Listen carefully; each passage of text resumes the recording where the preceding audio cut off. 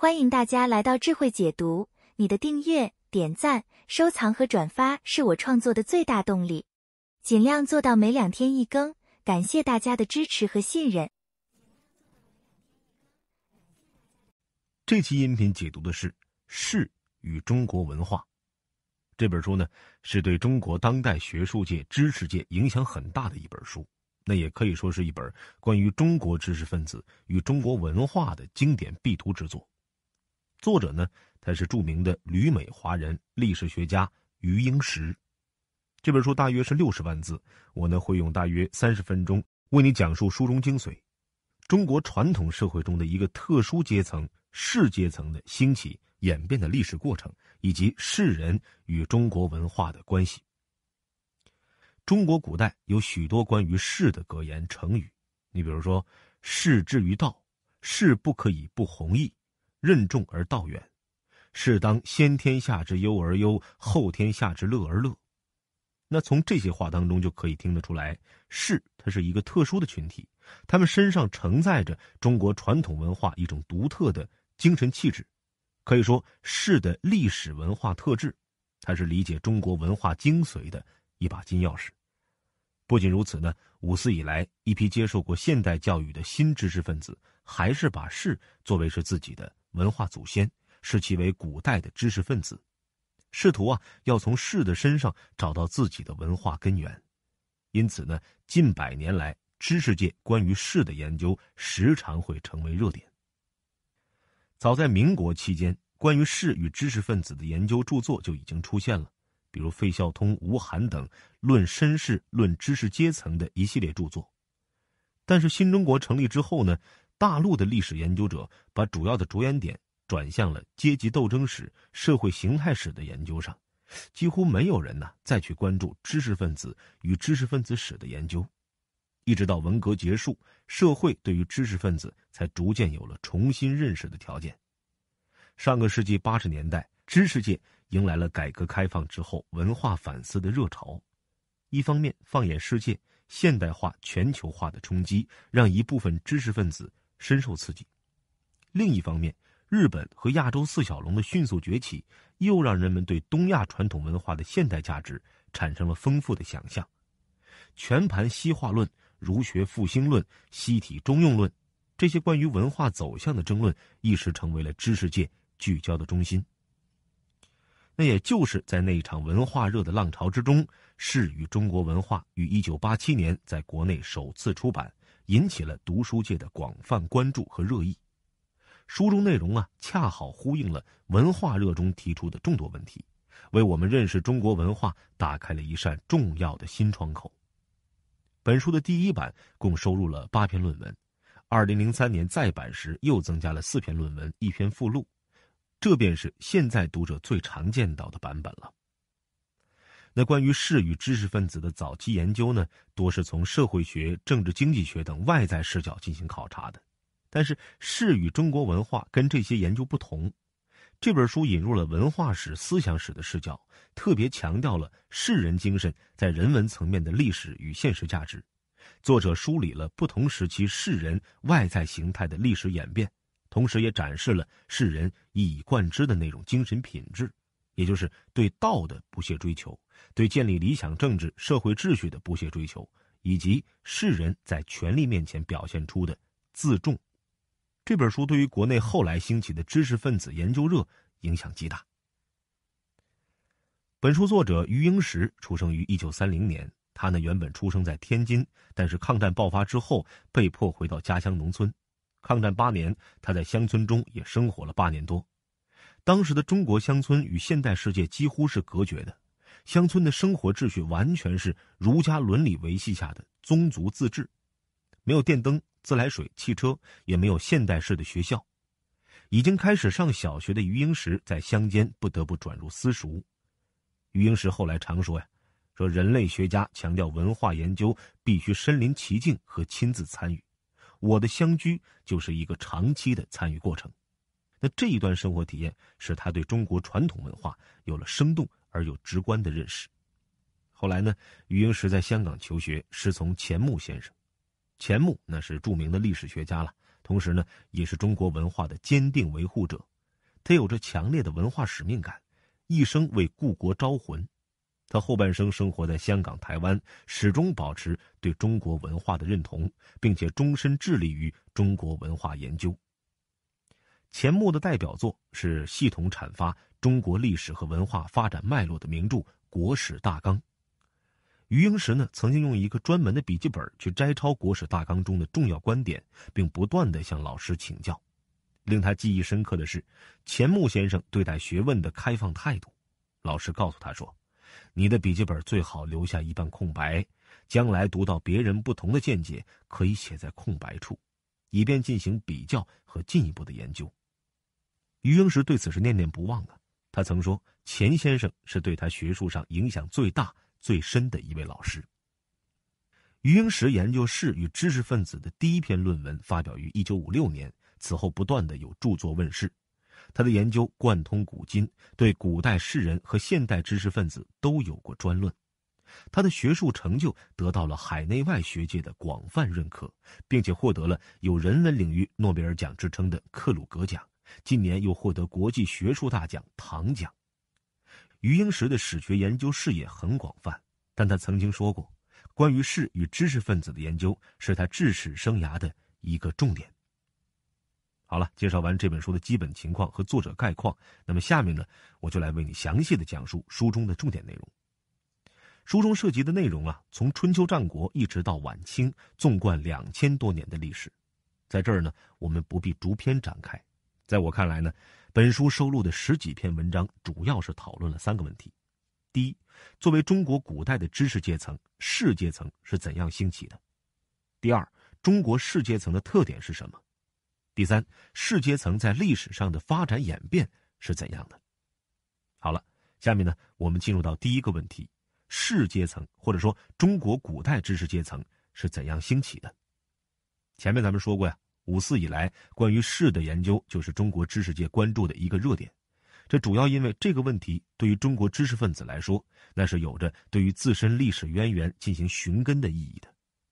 早期有些学者从古文字学的角度去解释士的起源，比如呢，有人认为士字与国王的王字同源，都像一个拱手端坐的人，说明士与政治礼仪有关。有的人认为“士”字的形状像一柄战斧，说明士与战争有关；也有人认为“士”字像禾苗插到土地里，说明士与农业相关；还有人认为“士”与事情的“士”字同源，表示士是做事务性工作的中下层官吏。但是余英时认为，用文字学来解释“士”的起源呢，只能说明在非常古远的时代“士”字的意思。而本书所要讨论的是，作为中国古代知识阶层的士是怎样兴起的，它的背景是什么？对此呢，余英时从社会变革和思想变革这两个层面进行了分析。那先从社会变革的角度来看啊，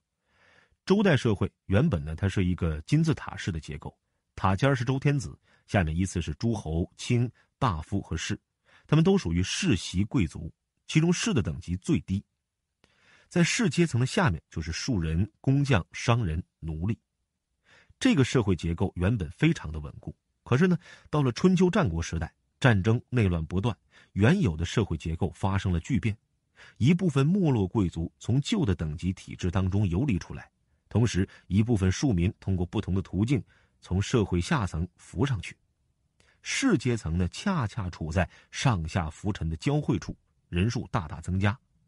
孔子的弟子当中，颜回出身旧贵族，曾参来自于庶人之家。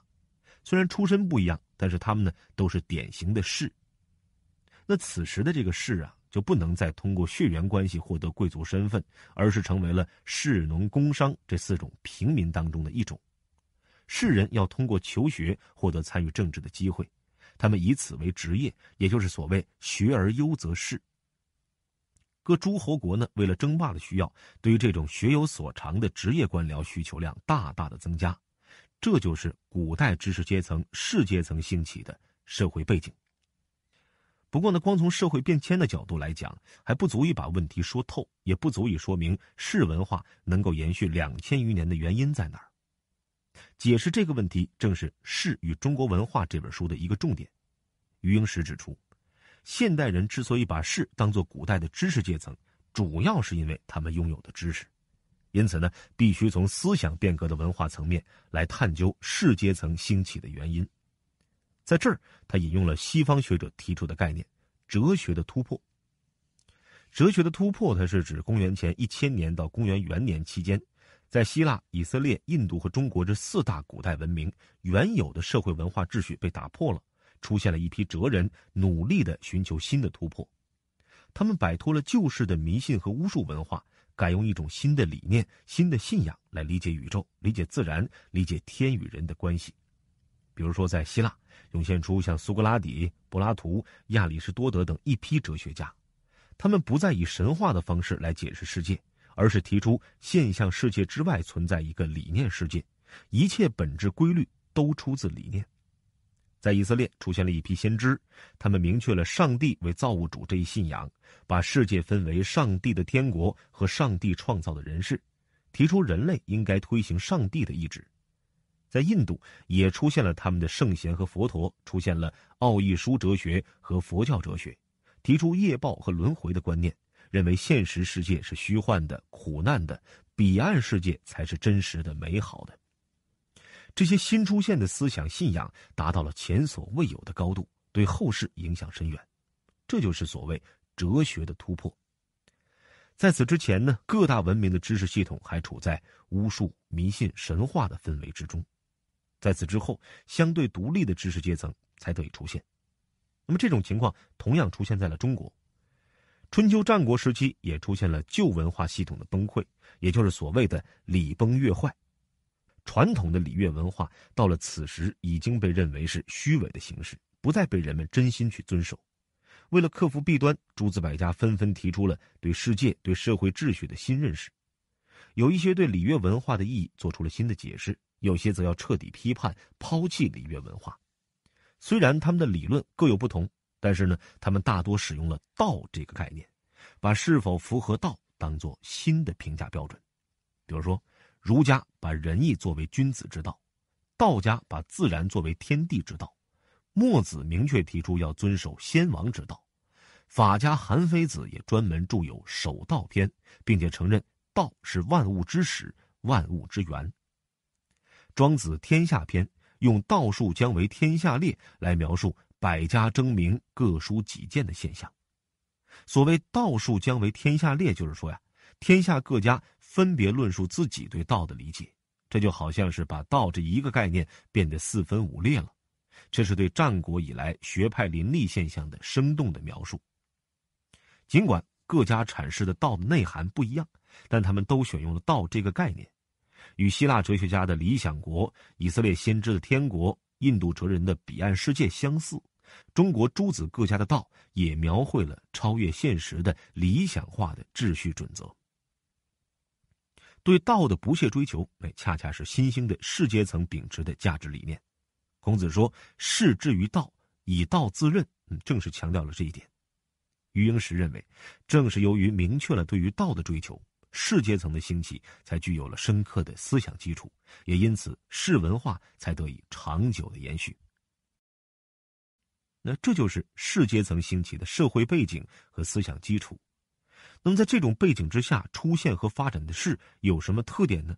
中西方古代的知识阶层又有什么区别呢？哎，这就是我们要说的第二个问题。在西方学术界啊，一般认为现代知识分子呢应该具有两个特征：一方面是有自己的专业知识，在某一领域内是专家；另一方面是要关心公共事务，做社会的良心。这种关注现实、关注社会的知识分子是近代以后才出现的。马克思有一句名言嘛，说：“哲学家们只是用不同的方式解释世界，而问题在于改变世界。”余英时认为这句话恰好点出了西方现代知识分子和古代知识人之间的分歧。在西方，古代知识人只是专注于解释世界，而现代知识分子呢，才开始投身于改变世界。然而，在中国情况恰恰相反，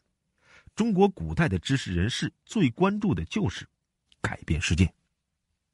前面讲到古代四大文明的哲学突破，余英时在引用这一理论的同时啊，又做了进一步的发挥。他指出，哲学突破后，各大文明的哲人都提出了理想世界的概念，但是如何认识理想世界与现实世界之间的关系，中国与其他三大文明有所不同。在希腊、以色列和印度，哲人们认为，理想世界与现实世界两者是一分为二、相互对立的。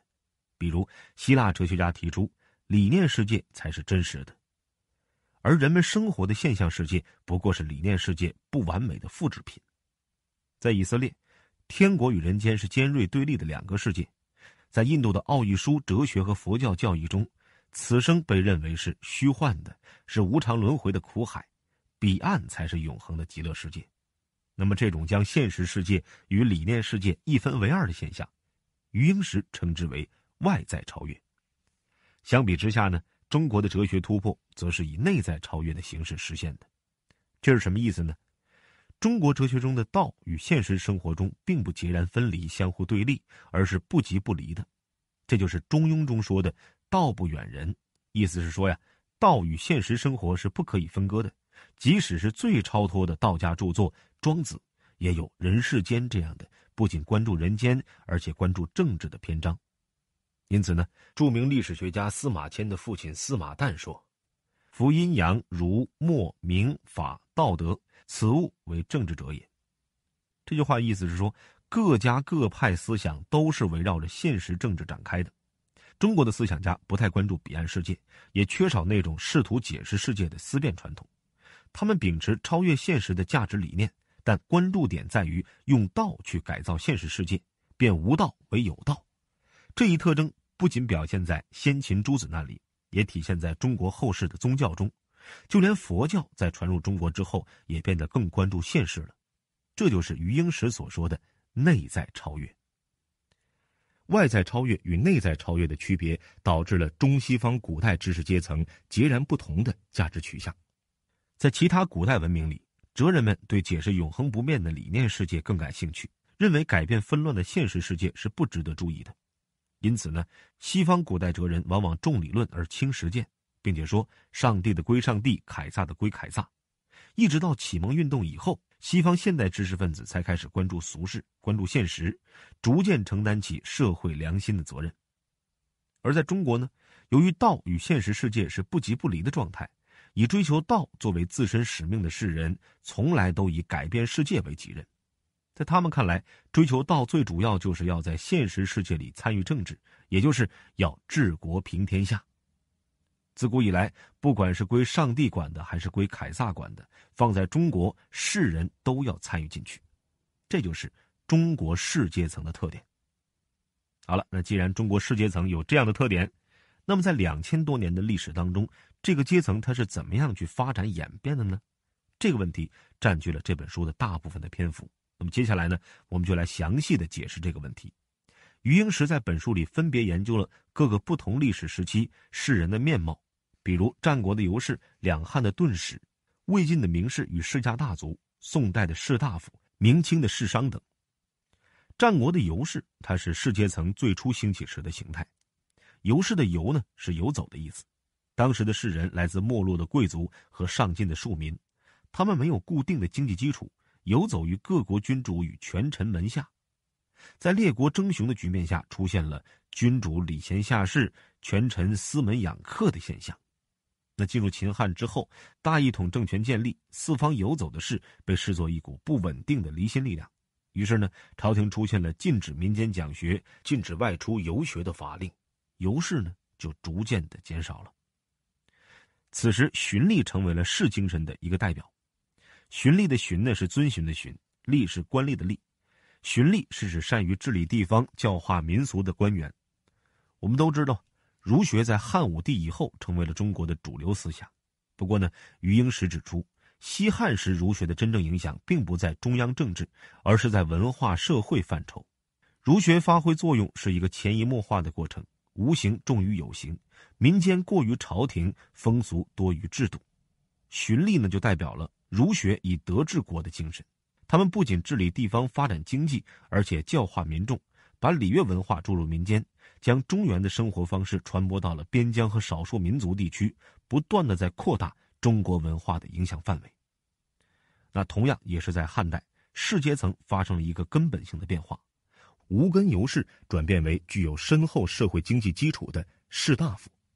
士大夫这个名词古已有之，大夫与士本来是贵族的最下两层，不过呢，随着时代的发展，词语的含义发生了变化。余英时认为，至少到东汉政权建立前后，士大夫已经成为了一种新社会阶层的称谓。士大夫阶层包括由士人形成的士族，还有大姓、官僚、豪强等。汉光武帝刘秀就是依靠这一阶层的支持取得了政权，而后来呢，也是因为。这个皇权与士大夫阶层之间失去了协调，东汉王朝最终还是走向灭亡。东汉开始，士人的群体意识呢逐渐的觉醒。东汉中期以后，政局混乱，外戚宦官轮流当权，在激烈的政治斗争当中，士大夫的领袖以天下封教是非为己任，那也就是说，他们把引领和改善社会道德风气作为了自己的责任。这种担当精神上承先秦，下开宋明，影响深远。这时呢，士人群体啊，还出现了交游结党的风尚，也就是有了为政治诉求联合起来的士人群体。志同道合是士人群体形成的基础。同志这个词儿呢，也是在当时盛行起来的。通过交游结党，士人群体的政治影响力得到了提升，成为了与外戚宦官并立的另外一支左右政局的力量。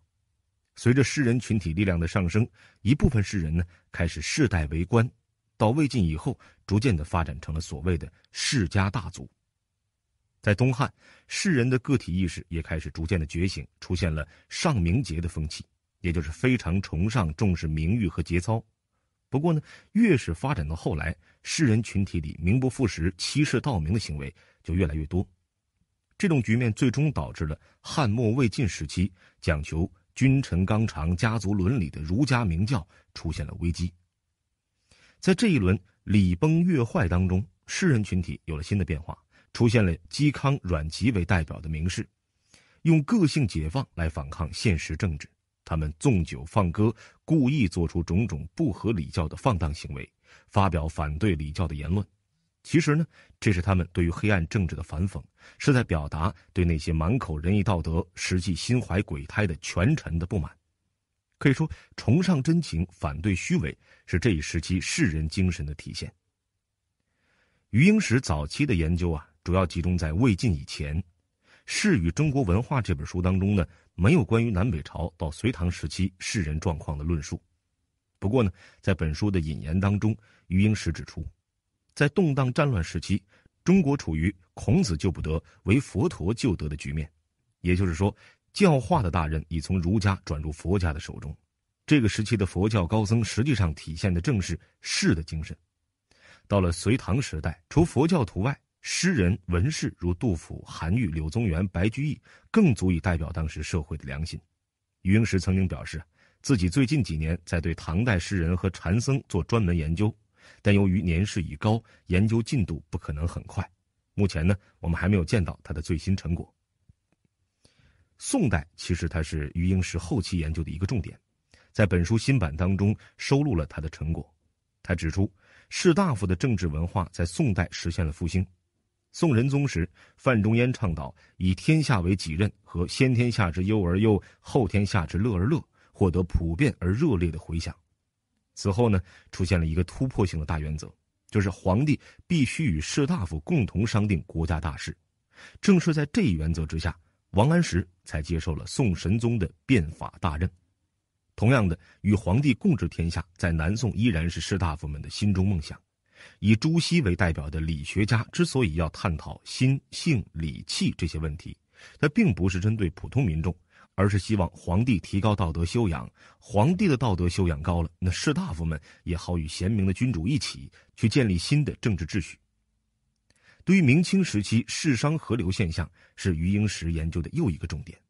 著名社会学家马克思韦伯有这样一个观点，说中国宗教伦理阻碍了资本主义的产生。余英时尝试回应这个问题，他指出，唐代中期以后，无论是儒、释、道各家思想，都向着更加入世、更加世俗化的方向发展，并不存在阻碍资本主义产生的问题，特别是在明代。随着市场经济迅速扩张，许多科举无望的读书人都下海经商去了，形成了一个士商合流的社会。王阳明对这一新的社会变化十分的敏感，因此呢，提出了士农工商虽然职业不同，但道是相通的。他说呀，商人虽终日做买卖，不害其成圣成贤。这是王阳明对于商人的鼓励，因为商人在中国古代的社会地位是很卑下的。王阳明希望他们不要自卑，只要投身到圣贤的事业中来，同样可以成圣成贤。那事实上呢，在明清时期，随着士与商的合流，商人们确实承担起一大部分以前专属于士大夫的社会责任，比如编写族谱、修建宗祠、办理书院、寺庙、修缮道路、桥梁等等。并且产生了受儒家道德影响的商人精神，儒商文化。本书讨论的士与中国文化呀，时间下限是晚清。书中呢，以曾国藩为例，探讨了中国的士大夫之学与专家之学的区别。曾国藩曾经对子弟们说，自己生平读书百无一成，但对于古人治学的途径，却已经窥见其大。之所以说百无一成，是因为他没有对考据之学、词章之学等进行专家式的钻研；而说窥见其大呢，则是因为他已经对各类学问有了整体性的通识认知。余英时认为，曾国藩说的士大夫之学与西方人文主义通识教育有着相似之处。中国传统的士大夫并不追求成为某一领域的专家，而是力求通过治学培养自己的人格，获得对道的体悟。虽然现在士大夫的时代已经一去不返了，但是现代公民仍然离不开通识。好了，说到这儿呢，《士与中国文化》的这本书的主要观点就为你分享完了。回顾一下，我们一共讲到了三个主要问题。首先，我们说到了士阶层兴起的背景是春秋战国之际的社会思想大变革。随着战争与动荡，士从一个社会等级变成一种职业身份。